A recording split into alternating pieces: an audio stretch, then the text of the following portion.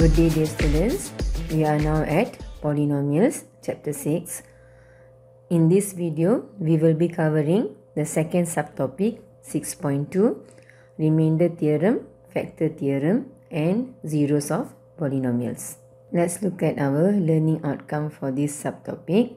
At the end of the lesson, students should be able to relate the remainder and factor theorem to solve problems Find the roots of the equations and the zeros of polynomials.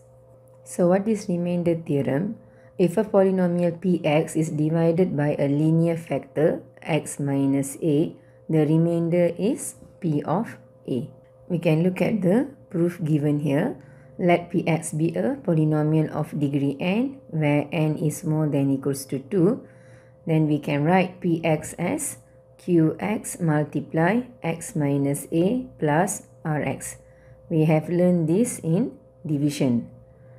When x is a, when we substitute a into our polynomial, the remainder will be 0.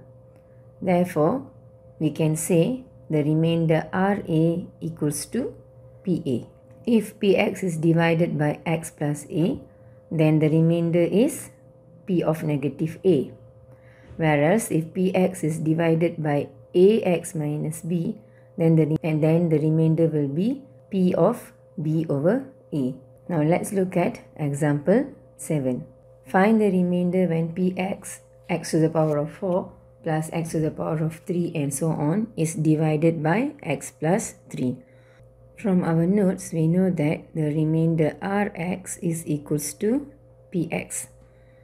And now we're going to divide by x plus 3 which means we're going to substitute with negative 3 into the polynomial. Let's check what is our remainder when we substitute with negative 3.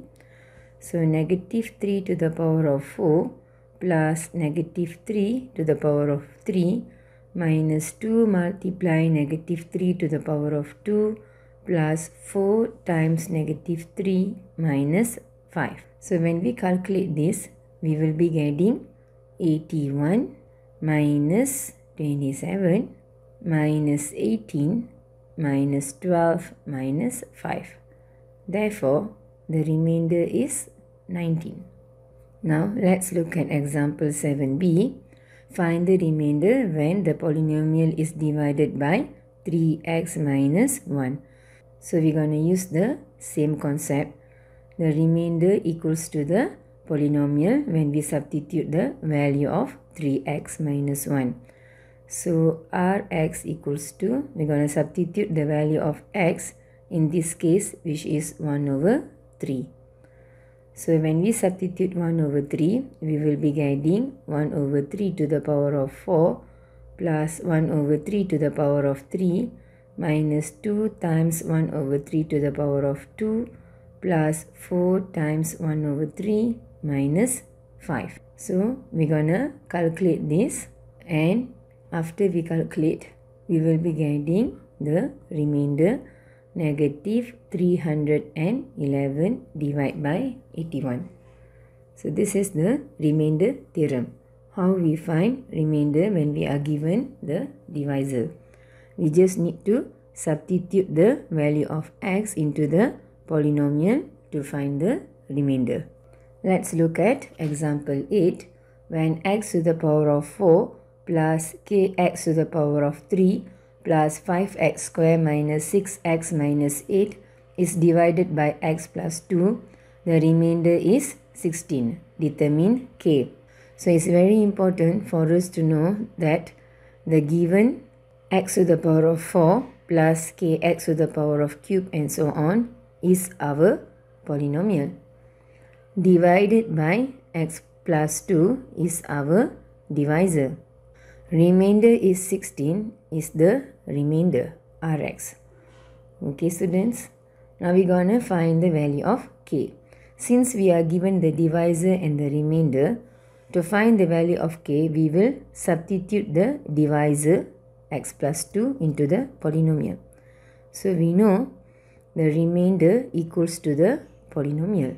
So given remainder is 16 and the polynomial is x to the power of 4 plus kx to the power of 3 plus 5x to the power of 2 minus 6x minus 8.